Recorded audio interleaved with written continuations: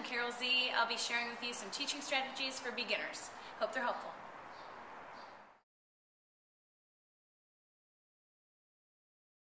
Okay, day one with your beginners. Day one, here's your lesson plan. Two things to cover, finding the beat in the music and shifting their weight. Okay, these are the two fundamental things they need to learn in order to develop in their dance. Um, so you're going to cover things like touch, step, maybe a heel drop, okay? The reason you want to keep it so basic in the beginning is it allows you to get them moving to the music and feeling like they're dancing right away. So here's an example of how I might do that. I explain to the students that touch has no weight. A step changes weight. Okay, so I'll have them say the words with me. Touch, step, touch, step. If a student does this for a step, no good, don't accept it.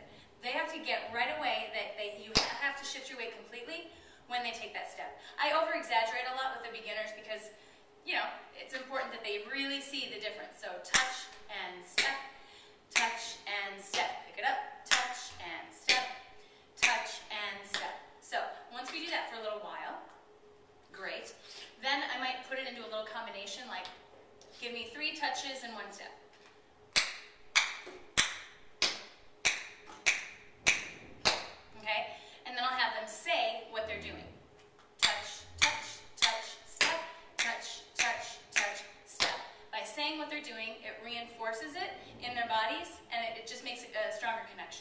So I might say, okay, do that two times. One side to the right, one time to the left. Touch, touch, touch, step, touch, touch, touch, step. Great. Let's call that A. Let's make a new one. Let's do one touch, one step, and a heel drop. Touch, step, showing that you're shifting your weight, drop your heel. Pick the other foot up. Touch, step, making sure they shifted their weight, drop their heel. Because some of them will do this. And they'll keep it on the same side.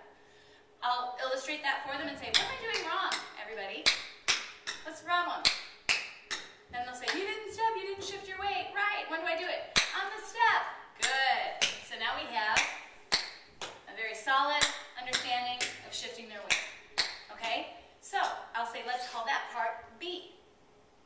Who remembers what A is? Touch, touch, touch, step. Who remembers what B is? And this one over there. Let's put them together. Let's do A, A, B, B.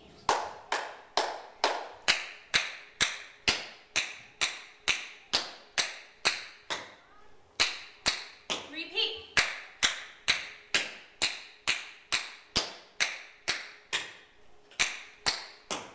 So you get the idea. Little phrases, call them by letters. I think it's, it's very easy for the kids to remember that way. A, B, maybe the next couple classes you'll build a And a D and an E and an F. Something you can do to develop that even further is turn it over to the students. Give them, once they've learned A through G, say, let them rearrange it in their own order. They think that's really fun, to put it, to mix it up, you know, and then show everybody in their class what they've made, these little, little, little segments, and the other students have to guess what order they did the stuff. So it kind of reinforces their learning and, and it also gives you a chance to assess if they really are getting everything. So that's one development you can do with this, with this exercise.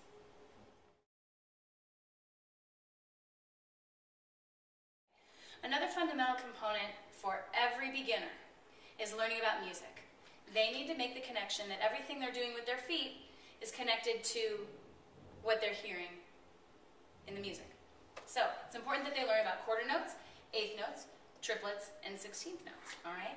The first thing I do is I present them with this chart on the board and I say, what do you notice about these numbers? And they'll say, they're all the same, right? And they all line up, okay? These beats stay steady. It's what you do in between the beats that determines if you're dancing eighth notes, triplets, or 16th notes. For eighth notes, we add one sound. One and, two and, three and, four and. For triplets, we add two sounds. One and up, two and up, three and up, four and up. For 16th notes, we add three sounds. One E and up, two E and up, three E and up, four, E, and up. Okay, so I'll ask my students to clap the first two lines. Do the quarter notes one time, and do the eighth notes one time. So they'll do one, two, three, four, one and two and three and four and one, two, three, four, one and two and three and four and. Then we'll try it with the triplets. One and a, two and a, three and a, four and a. And they'll try 16th. One E and a, two E and a, three E and a, four E and a. Okay, in their, in their dancing during the first year, they're only going to dance footwork-wise with quarters and eighth notes, um, but they will be aware of what triplets are, what 16th notes are, for when they reach that level in level two, say. Um, but again, I just can't reinforce enough the importance that they get this, that they understand how to count what they're doing, because it will make everything they learn that much better.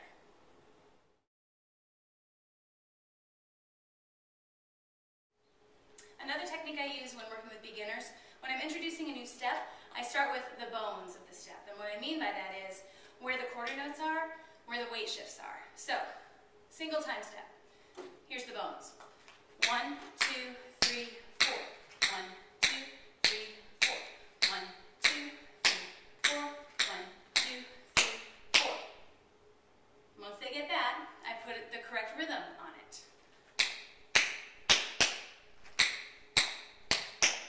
One, two, three. One, two, three.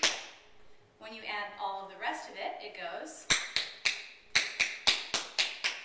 Three and one, two and three, four and five, six and seven. Bones. Add the step. Bones. Add. Here's another example. Triplet step. Uh, when, when I'm first teaching about a triplet rhythm, I might teach them this. One and a two and a three and a four, five and a six and a seven and an eight. Whoa, that's too hard, that's too hard. So we go to the bones.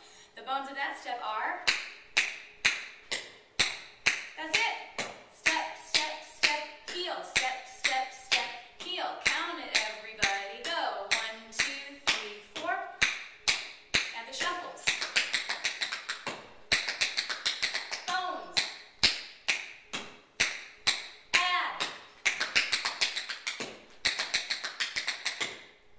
That's the bones.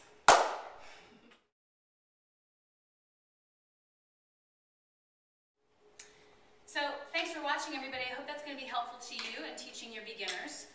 Just to recap, music, weight shifts, bones.